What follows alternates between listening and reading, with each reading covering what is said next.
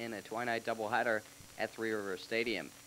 In game one, here in the top of the first inning, Zane Smith will give up a leadoff single to Keith Miller as Miller opens off the game with the single, and that would be the only single the Mets would get in this ball game.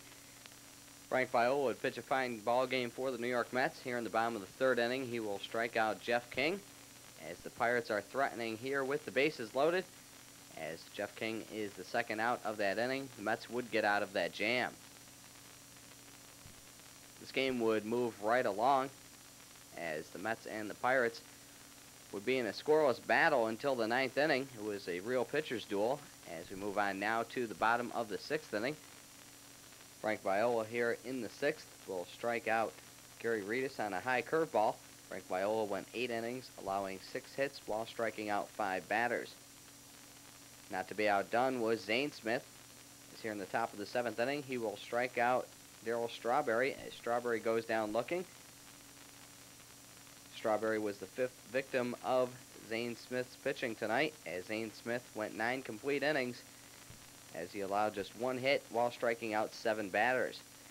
Here in the top of the ninth inning, Zane Smith would throw his final pitch of the ball game as he gets Tommy Herr to ground out one to three on the putout as the Three Rivers Stadium crowd gives him a nice standing ovation as Zane Smith acknowledges the crowd as they appreciate his fine pitching performance.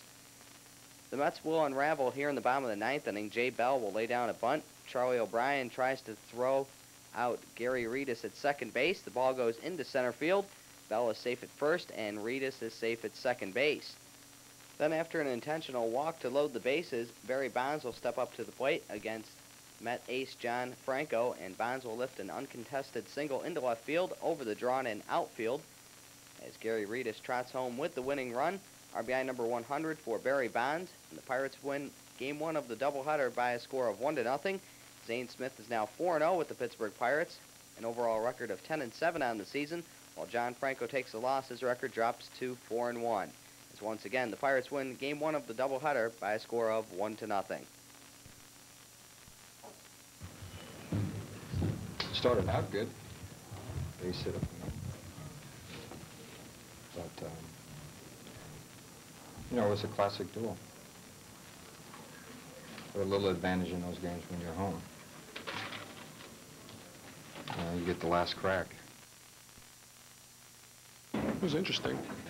You know, I don't remember the last game. I go eight innings and not give up a run and have runners on base every inning. But I got tip your hat to Zane. He threw the ball real, real well. You know, we never had anything really going, no trouble, and uh, it's a well-pitched game.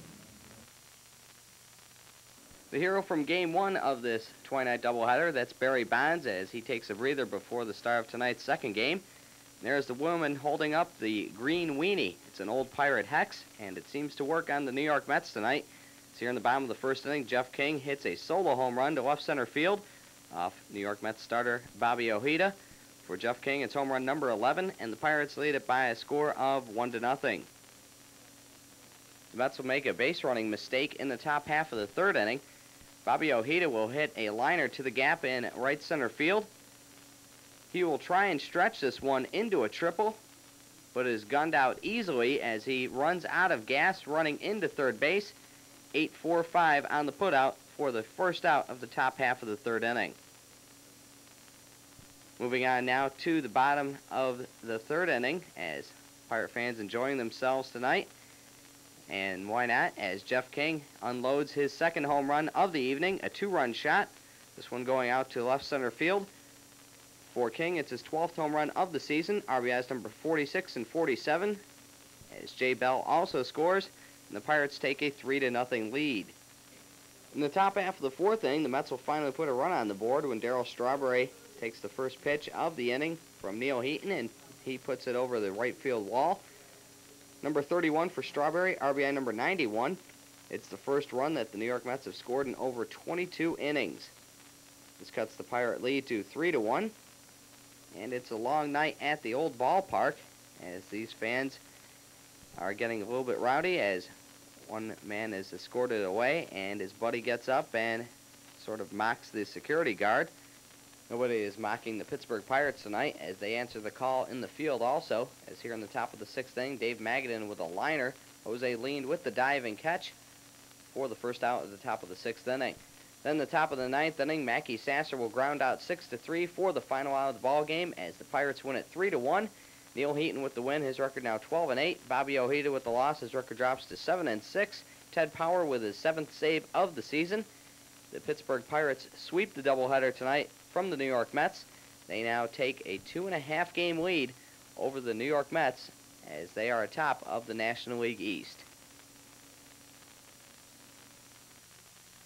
Yeah, that's been the the uh, nature of this team for a while now. Where we it seems like we've been hot and cold this whole year. We run off streaks and then we go on losing streaks, but you know we couldn't have picked the worst time for it. I think today we just met met up against a pitcher that two pitchers that were throwing the ball pretty well. You know, Zane Smith was throwing the throwing the ball very well. Uh, Neal Heaton was hitting his spots, and you know we hit some balls hard off him, but you know they were playing us perfectly. So we just got to bounce back tomorrow.